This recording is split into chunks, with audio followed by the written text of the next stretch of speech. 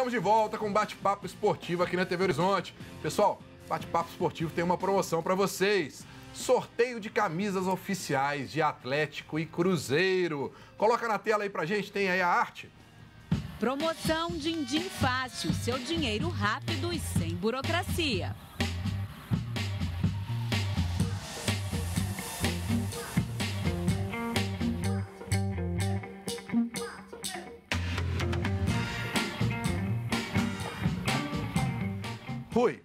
Bom ganhar uma camisa oficial do time, não? Eu gostei da musiquinha, ótimo. Você É tá bom, não É, você tá maluco. Pois é, o né? pessoal de casa pode ganhar a camisa oficial, tanto de Atlético quanto de Cruzeiro. Basta você entrar lá no canal do YouTube, Breno Galante. Você vai ver um videozinho lá explicativo da promoção de Indim Fácil. Você tem que responder aonde você consegue o seu dinheiro com rapidez e sem burocracia. Ó, Você sabe a resposta, Rui? fácil. Fácil, né? Dindim. É. Aonde você consegue, você coloca lá qual a camisa você quer ganhar. Então você se inscreve no canal, responde a pergunta e coloca lá se você quer uma camisa do Atlético ou do Cruzeiro. Dia 18 de outubro a gente vai fazer o sorteio pelo YouTube e vamos anunciar aqui quem venceu a promoção. Boa, né? Ó, din-din. Fácil. Bom, e você pode continuar participando com a gente. Não é isso, Ana Cláudia? Isso mesmo, Breno. Continue mandando suas mensagens para o WhatsApp 984950038 e também pelas nossas redes sociais, Facebook da TV Horizonte. Já tem mais abraço por aqui para Fernanda Matos, José Carvalho, Henrique Oliveira, Maria Helena Vieira. Tem perguntas também. A primeira é para o Procópio. Então você segura aí, Ana, um pouquinho, Ok. pra gente entrar no Atlético. Aí a gente vai soltar essa pergunta pro Procopio. Segura ela aí. O Atlético já tá se preparando para enfrentar o Havaí, líder do segundo turno, no domingo, 11 horas da manhã, no estádio da Ressacada. Paulo Roberto, time do Atlético praticamente definido. A única mudança aí, a volta do Marcos Rocha, que suspenso não jogou contra o Palmeiras. O resto do time é o mesmo. O Atlético treinou muita finalização ne- nessa semana, muita triangulação, para ver se dessa vez para com a bola aérea e reencontra o caminho da vitória contra o Havaí. Jogo difícil? É, jogo, jogo duro, jogo duro, principalmente porque o Havaí, né, no, no retorno aí é o líder, né, com, fez 10 pontos aí. Acho que o Atlético vai ter muita dificuldade, eu já joguei lá nesse campo, o Rui também, né? Isso. É um campo apertado, é um campo que, que sofre pressão. Agora, o Atlético tem que mostrar um melhor futebol, um melhor entrosamento. Eu não sou muito fã desses tipos de treinamento. Eu, gostava, eu gosto muito da, da parte quando você faz mais coletivo, né? Porque eu fiquei sabendo lá que o, esse treinador não faz coletivo. Eu nunca vi você entrosar uma equipe sem coletivo. A parte coletiva é a mais importante. Mas, enfim, o Atlético vai sofrer muita pressão. Agora tem jogadores, tem talento para sobressair. Espero que domingo o Atlético re- recoloque, né? Principalmente o Fred novamente ali para fazer gol. Procopio, como é que você tem visto aí essa situação do Atlético que rateia para ganhar dentro de casa, sempre tinha campanhas ótimas dentro do Independência, né? Hoje joga melhor fora de casa do que dentro de casa e com o elenco que o Atlético tem. Você imaginava estar nessa situação que está hoje? Olha, futebol, ah, de repente as coisas mudam. Se você, é como disse o Paulo aqui, concordo com ele. Se você não faz os treinamentos adequados, os treinamentos corretos para que o time jogue daquela maneira, não é? você vai ficar dependendo só da qualidade técnica do jogador no dia. Mas se ele é bem marcado, se ele encontra um adversário brioso pela frente, torna-se mais difícil. Né? Se você tem um modo de julgar, tem a, a maneira de julgar, não é? com simplicidade, com, com técnica, com, e o atleta tem jogadores talhados para isso, né? É um time de jogadores fantásticos, né? tecnicamente. Então, eu quero crer que concordo plenamente com o Paulo Roberto. O problema é treinamento. Ô Rui, se a gente for pegar o jogo 11 horas da manhã, né, o Atlético já treinou ontem na parte da manhã, hoje treinou na parte da manhã, amanhã vai treinar na parte da manhã para poder adaptar o time ao horário do, do jogo. E o Havaí, a gente já comentou isso aqui em outros programas, vem numa ascensão né? O time está aí, se eu não me engano, uns cinco jogos que já Isso. sem, sem derrota, com bons resultados, ganhou do esporte fora de casa. Qual é o melhor caminho para o Atlético reconquistar uma vitória fora de casa? É, realmente a, a vida esse ano, tirando o Campeonato Mineiro, para o Atlético não está muito fácil, né? O Atlético ele vem tropeçando, vem tendo resultados assim meio duvidosos, às vezes uma, uma vitória, a torcida não fica muito satisfeita. E o Atlético agora me pega o Havaí nesse retorno, o Havaí liderando o segundo turno do Campeonato Brasileiro. Tem essa questão do horário, a gente já debateu bastante a respeito disso no programa. É, tem sim que ter uma adaptação, porque a alimentação é diferente, é, o horário que você normalmente vai recolher, tem aqueles atletas que gostam de dormir um pouco mais tarde, então já não vão poder. Então vamos ver o que o Atlético vai, vai apresentar nesse jogo.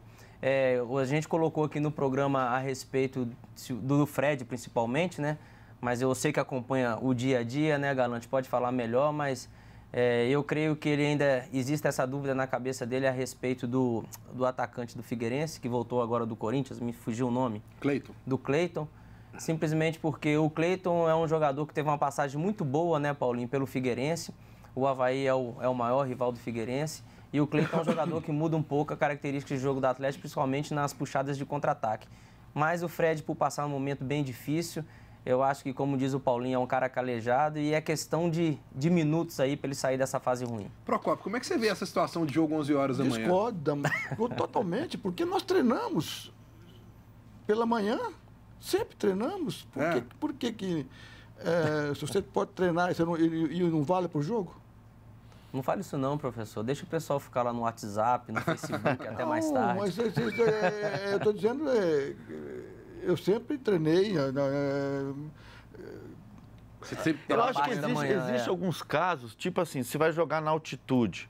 É aí você tem que é fazer uma adaptação. é. Agora, esse negócio de horário, pra mim também é besteira. O jogador treina, começa 9 horas da manhã, termina meio-dia. Todo dia o cara tá lá fazendo aliás, isso. aliás eu, eu falo, eu falo por mim, é, o treino mais forte que eu dava é sempre depois de 11 horas. Que o, cara terminava e fazia a parte física, eu falava, agora vocês vão lá em cima, lava o rosto, tira o tênis e põe a chuteira. Aí que ia fazer um treinamento técnico depois de 11, 11 e meia. É, mas, a, mas a questão que eu, que eu digo a respeito do horário do jogo é o seguinte. Agora falando a respeito dos jogadores. Tem jogador que a gente sabe que para dia de treino ele não toma café. Você, né, a gente já foi atleta, tem aqueles atletas que não conseguem tomar um café reforçado para poder ir para treinamento. Eu, quando era jovem, pelo menos, eu saía para treinar, eu tomava um copo de vitamina, mas como eu era jovem, eu, eu conseguia é, fazer os treinamentos. O que eu falo é a respeito dessa preparação, porque o atleta que normalmente tem dificuldade de, se, de alimentar na parte da manhã para os treinamentos, esse jogo de 11 horas acaba, às vezes, fazendo com que ele saia dessa sua rotina natural. É lógico que isso que o Paulo e o que o professor Procopio disseram, isso vem em conta. Mas a gente sabe que, principalmente o pessoal de fisiologia, o pessoal de nutricion, do, da nutricionista, do, que Da cuida da nutrição. parte de nutrição, é, eles têm uma preocupação especial com essa contar um negócio, questão. Rui. O pessoal gosta de assistir jogo 11 horas, viu? Ah, Todo mundo que fica em casa gosta de assistir 11 horas. E o Robinho falou em coletiva ontem. Vamos ver como é que ele está sentindo aí esse momento dele no Atlético. Afinal, ele está no banco.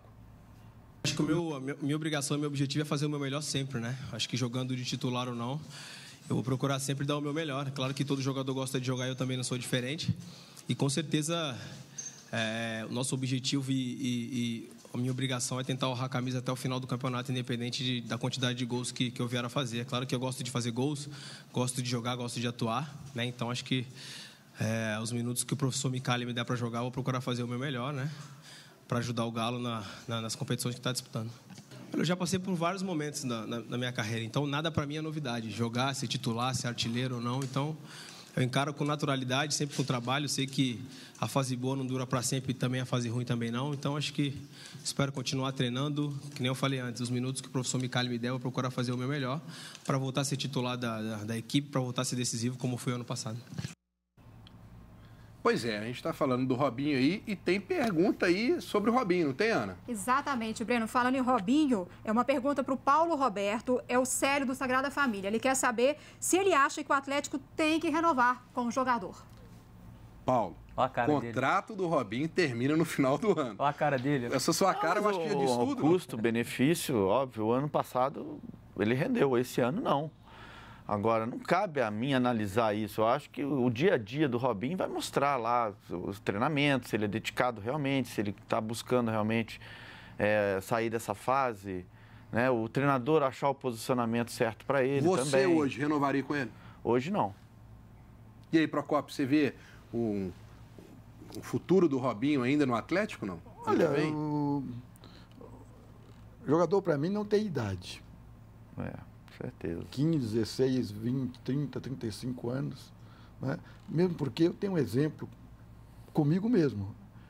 Eu fiquei cinco anos, um mês e 13 dias machucado, parado. Voltei a fazer teste com 33 anos e meio e voltei a ser titular e jogar em alto estilo mais dois anos. Então, a- essa parte depende muito do, do jogador, depende muito daquele que ele quer, daquele que ele procura. Então, não é empecilho nenhum um jogador com 30 e tantos anos. Você acha que é o lado mais motivacional do Robinho que vai fazer ele ficar É, ele, ele já provou que é bom e que tem condições, né? E os treinamentos, né? ah, O modo como eles encaram, porque as pessoas têm a mania de falar assim, ah, o jogador tem fez 30 anos, ele não pode treinar muito forte. Não, é o contrário, ele tem que treinar mais forte para manter os reflexos, manter a- a- o estado dele psicológico bom para jogar. Pois é, e o Atlético, então, joga 11 horas da manhã, na ressacada, domingo, todo mundo tendo que acordar cedo lá, Atlético e Havaí.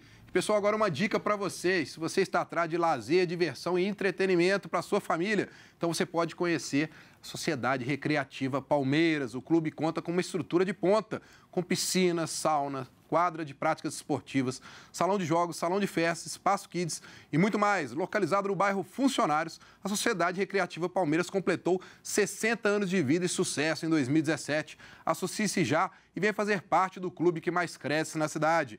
Ligue no 3241 1543, repetindo 3241 1543. Não perca tempo e agende já uma visita. Nós vamos para mais um intervalo e voltamos falando tudo do Cruzeiro, que enfrenta o Bahia no domingo no Mineirão. Não sai daí.